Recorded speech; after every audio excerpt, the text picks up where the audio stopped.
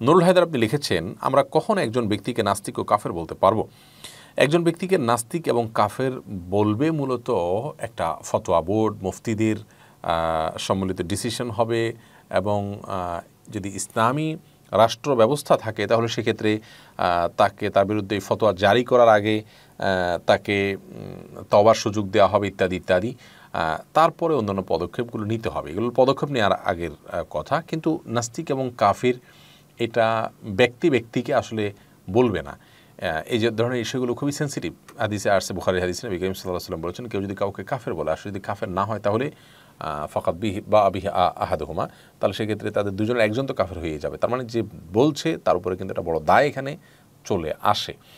তো যার কারণে এ ধরনের ইস্যু ব্যক্তি নিজের ঘাড়ে তুলে নেবে না, বরং এগুলো ওলামা একরামের সামনে তুলে ধরবেন। তারা পুরো বিষয়কে অ্যানালাইসিস করে ফতোয়া দিবেন বা সিদ্ধান্ত দিবেন ওলামা একরাম মুফতিগণ।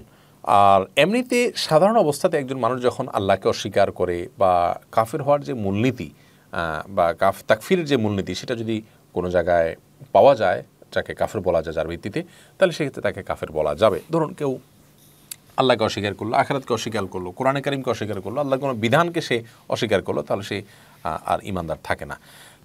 নাস্তিক সে কোনো ধর্ম বিশ্বাস করে না, এরকম যদি হয় নাস্তিক হয়। আজকালকার পৃথিবীতে যারা নাস্তিক আমরা বলছি, এরা আসলে কে কতটা নাস্তিক সেটা বেশ প্রশংসাপেক্ষ বিষয়দের বেশিরভাগই হলো কপট কিসিমের, কারণ হলো তারা নাস্তিক, তো কোনো ধর্ম বিশ্বাস করবে না, কিন্তু এরা ইসলামের বিরুদ্ধাচরণ করে অন্যান্য অনেক ধর্মের প্রতি তাদের সিম্পেথি ইত্যাদি, বোঝা যায়। অর্থাৎ তাদের আসল উদ্দেশ্য কি? সেটা বেশ মানে ঘাপলাপূর্ণ এবং জটিল মনে হয়।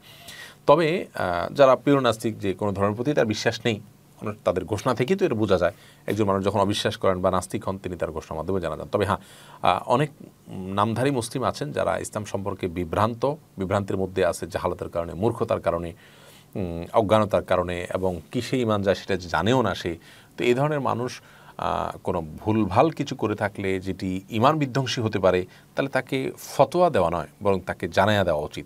জানানোর পরও সে উদ্ভট আচরণ করে এবং তাকফিরের মূলনীতি পড়ে, তখন অবশ্যই তাকে কাফের এবং নাস্তিক বলা যাবে। কিন্তু এটি আসলে যে যে কোনো ব্যক্তি, যে কোনো ব্যক্তিকে বলে বেড়া ব্যাপারটি কিন্তু সেরকম নয়। আমরা অনেক সময় অনেক বিভ্রান্ত মুসলিমকে আমরা নাস্তিক বলে ফেলি। এটা একটা ত্রুটির জায়গা, আল্লাহ মাফ করুন।